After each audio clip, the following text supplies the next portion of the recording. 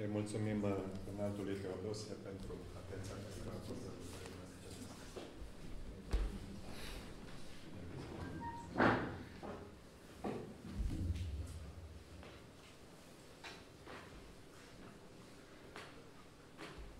Iubite Părinte Stareț, distinși membri ai prezidiului astăzi,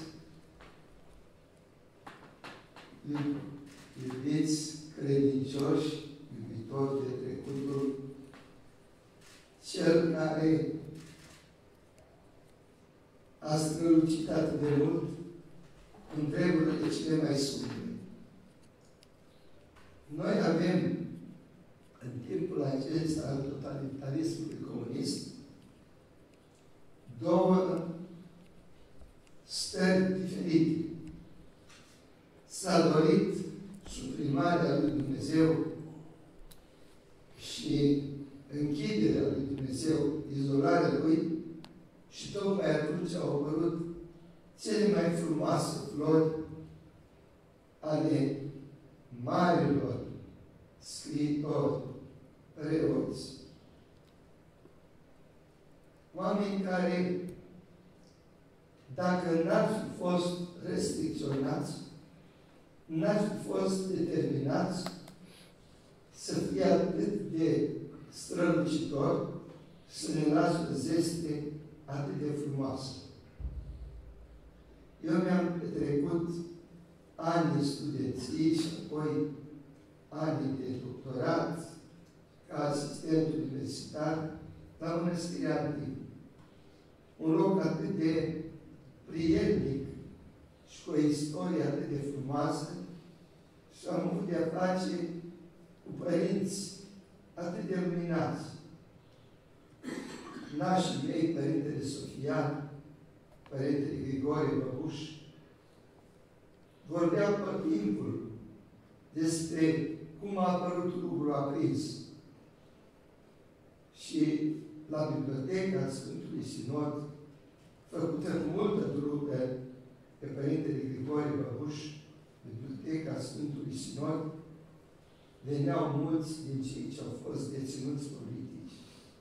Ți era drag să-i asculți despre suferințele din închisoare care i-au dărit atât de mult. Mulți nu erau triști, au fost închiși.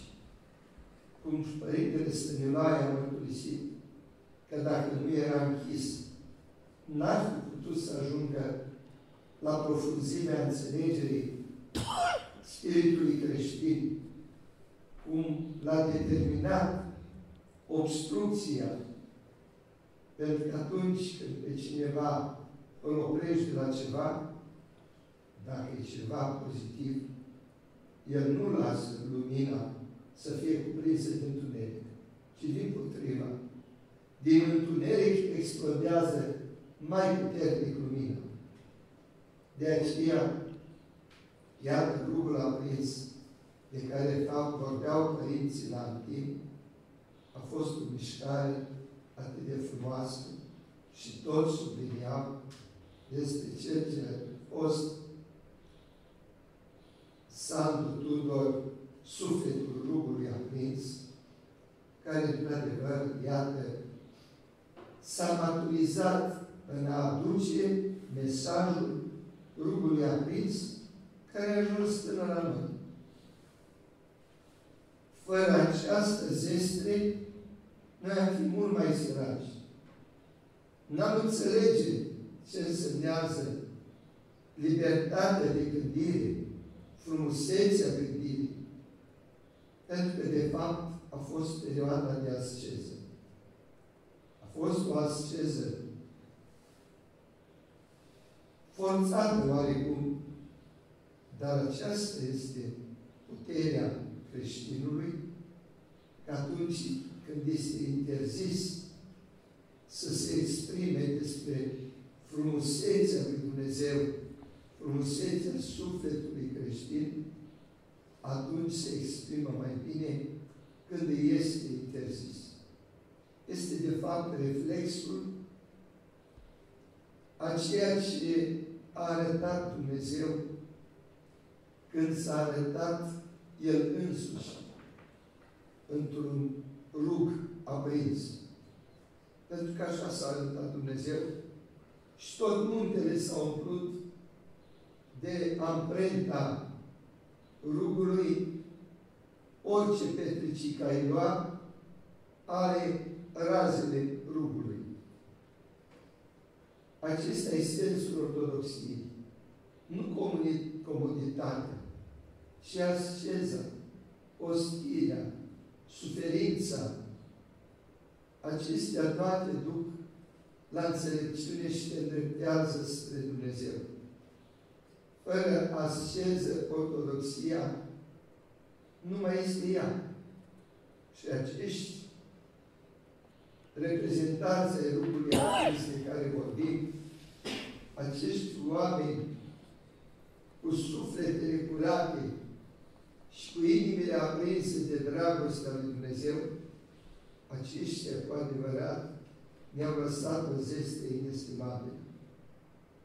Sunt bucuros că Mănăstirea de Vent înnoiește spiritul acesta și mulțumesc Părintelui Stareț și are toate mijloacele, iată, săli mai mici ca aceasta, săli mai mari, biserică mică, biserică mare, muzeu.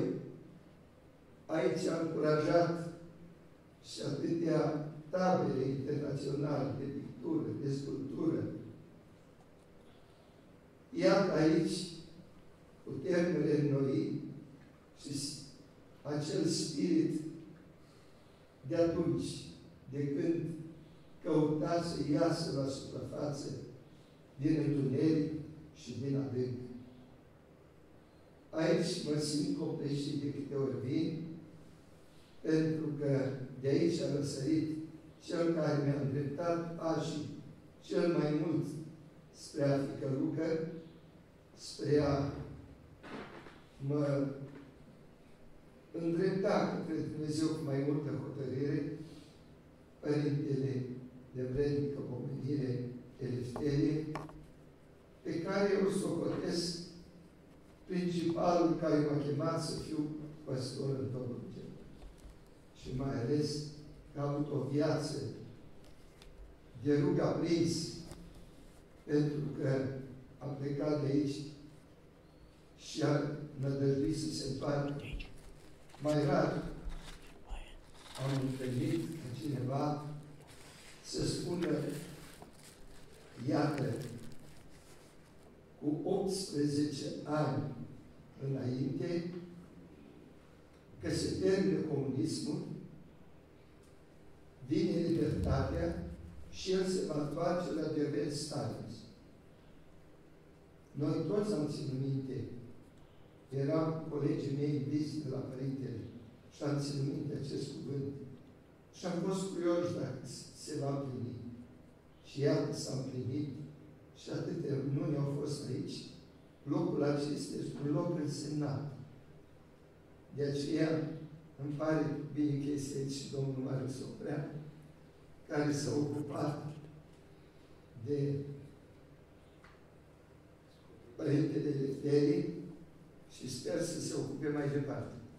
Și de martirii de la Periprav. Și de martirii de la Periprav, exact. Sigur că sunt multe de făcut. Eu am venit să binecuvântez această osteneală dumneavoastră. Trebuie să plec la Cernavod. Avem și acolo iată un,